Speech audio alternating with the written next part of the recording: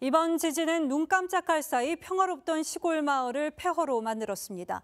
물론 지진의 위력이 엄청났지만 무엇보다 내진 설계가 제대로 안 돼 있었다는 점이 피해를 키웠습니다. 전정원 기자가 현장을 돌아봤습니다. 진도 7의 충격을 입은 시카미치의 한 마을. 지붕과 담장이 폭삭 무너져 입구가 어딘지 분간할 수도 없습니다. 잔해에 깔린 차량은 종이장처럼 찌그러졌습니다. 지자체 직원들이 남은 건물들을 돌며 안전 진단을 합니다. 지진 피해를 입은 건물들 중 추가 붕괴가 우려되는 경우엔 이렇게 위험을 알리는 빨간 딱지가 붙여집니다.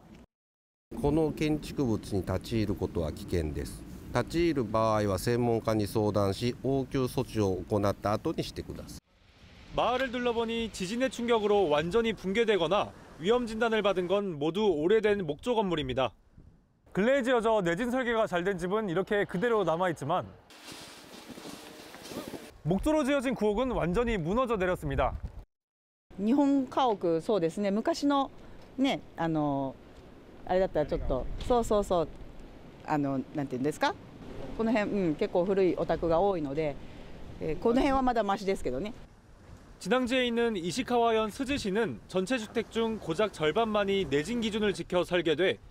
전국과 비교하면 크게 낮은 수준입니다.